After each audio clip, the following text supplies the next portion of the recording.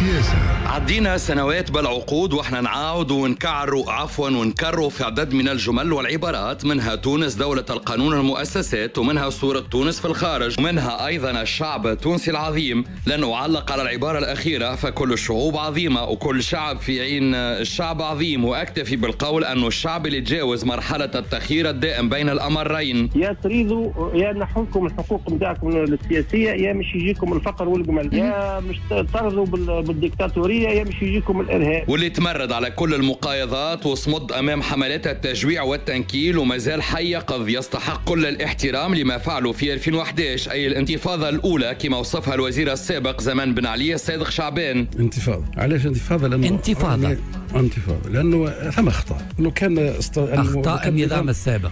أي لو كان النظام السابق ما عندوش اخطاء ما توقعش انتفاضة. أو سرعة عودته إلى الشوارع في 25 جويلية 2021 بعد ما ظنت المنظومة الفاشله انه برد وسلم ولكنه رجع للشارع وحق انتفاضة جديدة. لو تعنون 17 ديسمبر 14 جانفي بالانتفاضة فبماذا تعنون 25 جويلية 2021 انتفاضة ثانية لفشل سابق انتفاضة ثورة انفجار ثوري غير مسبوق في 2011 أو في 2021 آه، اللي حتى تو ما عندناش تسمية واضحة للي صار بعيد على الدستور والقانون هو مش انقلاب. أما حتى تو مش واضح تصحيح مسار ولا en tout cas اللي ثبت أنه تونس دولة قانون ومؤسسات آه، قانون للأمانة مش برشا. نقولوا دولة مؤسسات تواصل فيها العمل بشكل عادي رغم إسقاط النظام ورحيل رأسه في 2011 واليوم تواصل المؤسسات والإدارات عملها بالرغم من إعفاء رئيس الإدارة أو رئيس الحكومة هشام المشيش وأغلب أعضائه منذ حوالي خمسة أسابيع. أي مش شوية. عدينا جويليا وعدينا أوت ودخل سبتمبر مدراك سبتمبر جانا وفرحنا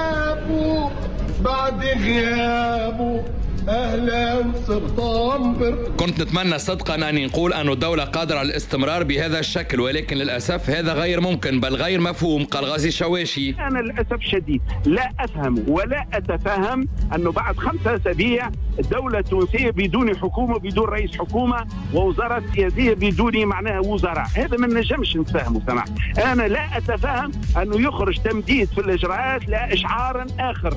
معناه ينجم يكون عام ولا عامين. تعرف تونس لا تحتمل. أها من فضلك سي غازي الشواشي ما نحبش في سيادته راه رئيس الدولة على رأسي وعيني ونحبه ونحترمه ونقدره اليوم وغدوة بعد غدوة. ممتاز متفاهمين ما شنو المشكل؟ لأنه اليوم احبابنا الكرام لو باش يقوم بالإصلاحات ويواجه الأزمة الاقتصادية والاجتماعية مش السيد رئيس الدولة. ما عندوش علاقة السيد رئيس. والسيد رئيس الدولة بين أنه ما عندوش برنامج اقتصادي. ولا يفقه في الاقتصاد ولا يفرق ولا يميز بين المليار ولا ولا ولا والمليون ولا يميز بين الدولار والأورو. مع كامل احتراماتنا هذا دور غيره إيه وعيب أنه ما يفهمش في الاقتصاد؟ مش عيب رئيس دولة ما يفهمش معناها في الاقتصاد. هكا واضح ما يفهمش يحط شكون يفهم. يعني بالنسبة لأسئلة وين نمشي وكيفاش باش نمشيو باش تحددها القرارات اللي باش يتخذها الرئيس في الفترة القادمة ومنها نجموا نفهموا كيفاه باش نمشيو لمرحلة جديدة ونتجاوزوا المخاطر اللي حكى عليها الشواشي. أما ممكن يكون بكري برشا تقييم القرارات اللي خذاها الرئيس حتى لتوا حسب بدر الدين الجمودي. نجم نقيموا الخطوات هذه بعد ستة شهور بعد عام بعد عامين ولكن أن نطلق الأحكام بعد شهر ونقول أن كبار اللصوص لم نراهم وراء القضبان أنا في تقديري محاربه الفساد يستوجب أن ما يكونش كانت خطوات من رئيس الدولة. يجب أن تنخرط فيها مؤسسات الدولة وأهم مؤسسة هي المؤسسة القضائية. والمؤسسة القضائية في عطلة.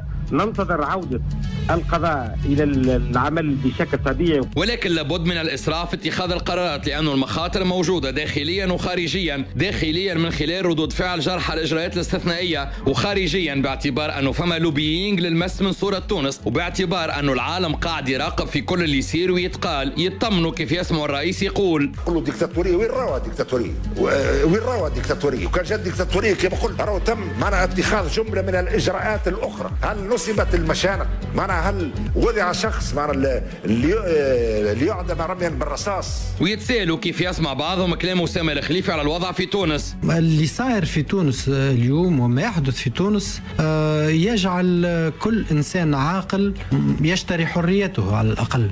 اليوم آه، نحن في رجوع إلى الوراء في الحريات للأسف تهديد وعيد بون نتصور يصدقوه البعض أو يحاولوا يصدقوه البعض في تونس أما ال- أغلبية في تونس ولا البرة تعرف أنه القروي هرب لأنه الدور جاي عليه قضائيا. يعني حس روحه على حافة الهفه وأنه سيء. قراو فيه زعزع ظهر بين وفاه وخاصه خاصة تاكد أنه المرة هذه صعيب كان يخرج معزز المقرب بالسياسة.